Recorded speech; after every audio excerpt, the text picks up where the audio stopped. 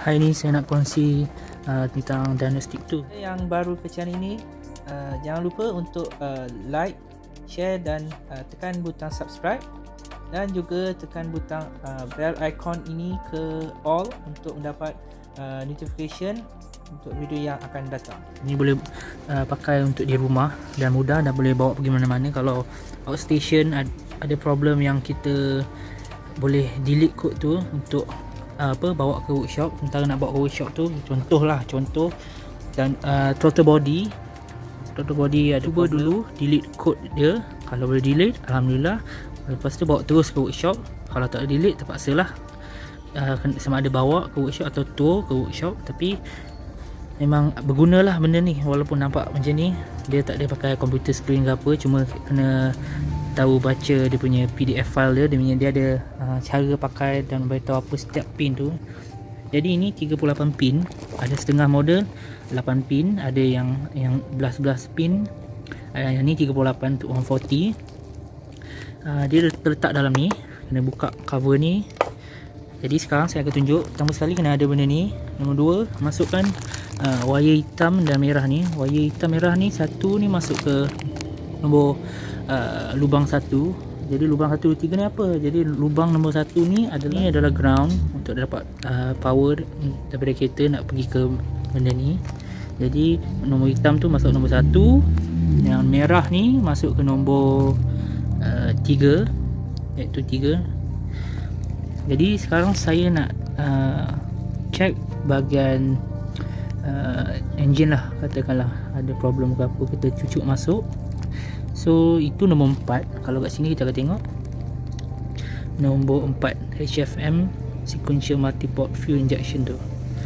Jadi apa nak kena buat? Dah masuk tiba nyala. Ha, ni tak apa. Tak nyala. Uh, apa dia tadi tak nyala sekarang nyala. Sekarang ni apa kena buat adalah uh, pusing kunci ke nombor 2 ok sekarang pusing kunci ke nombor 2 yang lampu nyala semua tu biarkan. Ok ketiga sekarang kita uh, tekan button merah ni jadi saya akan tekan untuk 3 saat. Dia masa memang kena tepat kalau tak dia tak akan menjadi. Ok saya akan tekan sekarang untuk 3 saat daripada sekarang. Ok lepaskan. Ha, tu dia menyala kan? Dia menyala sekali Maknanya dia tanda Tak ada error code satu pun Daripada engine. Jadi maknanya Tak ada problem lah. Saya tekan lagi sekali Test tengok Takut ada yang lain ke Okay Masih sama. Maknanya Alhamdulillah Tak ada problem lah. Bagi engine Tak ada problem. Okay Sekarang saya pergi tempat yang ada problem. Saya tahu Saya ada masalah uh, PSE uh, ada bocor dan uh, central locking ni button kat dalam dah tak apa-apa nak berfungsi. Button dia yang problem. Jadi cabut benda ni dulu. Sekarang masuk ke port yang PSE jadi port PSE ni kat mana? Ya ni. Sebab tu saya cakap dalam setiap nombor ni ada fungsi dia. Jadi PSE ialah nombor 20 akan masukkan ke port nombor 20 tu. Sekarang saya akan tekan macam tadi tiga kali. Saya tekan tiga kali.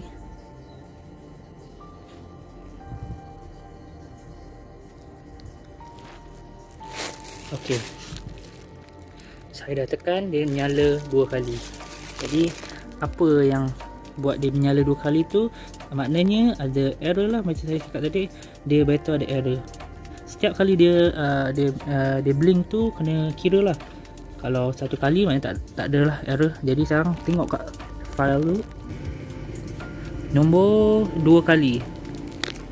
Nombor dua kali ni adalah center locking tongue lid remote control air requirement too high. Maknanya ada bocor dalam pintu atau dalam boot ok saya tekan sekali tengok ada apa error lagi tak? Okay, saya tekan.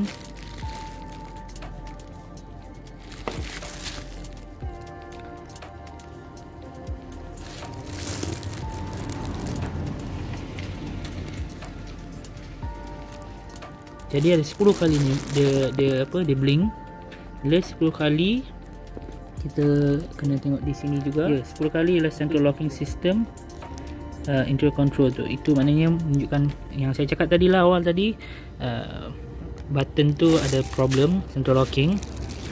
Sekarang macam mana nak uh, delete error code tu? Ok saya tekan 10 saat.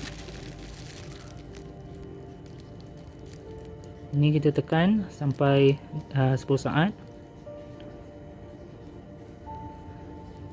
Ok tunggu sekejap lepas tu tekan lagi sekali untuk 3 saat nak make sure yang dia tak ada error lagi.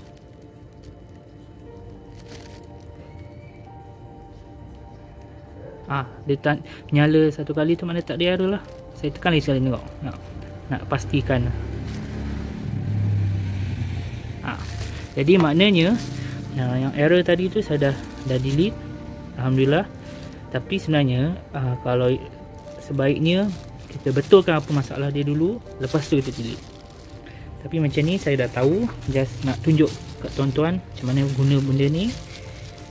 Uh, macam-macam lah sebenarnya kalau nak tengokkan dia boleh baca apa yang ada sistem yang yang available dalam kereta tuan-tuan. Ada setengah kereta tak ada sistem tu jadi tak boleh baca lah. Uh, jadi kita tengok apa yang ada lubang yang, yang boleh dibaca. Okay, sudah selesai. Saya dah delete code tadi. Macam tuan-tuan tengok tadi saya dah delete code. Sekarang saya nak cabut nak, nak start. Pertama sekali cabut balik yang warna kuning ni dulu. Lepas tu cabut yang merah yang hitam. Letak tepi dahulu Supaya dia tak terhempak. Ok, tutup ni. Tutup dia senang saja. Masukkan lubang ni, tu pusing.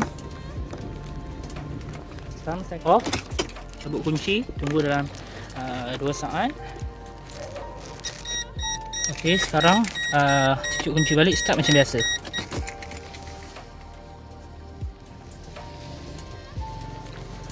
Lepas start je biasa dia akan uh, tak ada error lah dalam uh, PSC pump yang saya uh, apa check tadi. Jadi saya harap uh, hari ni punya pengkongsian uh, dapat sebanyak sedikit memberi uh, info. Zum ersten Mal im Fahrzeugbau wird die Vernetzung der elektronischen Steuergeräte per Datenbus realisiert. Er läuft unter der Bezeichnung CAN für Controller Area Network.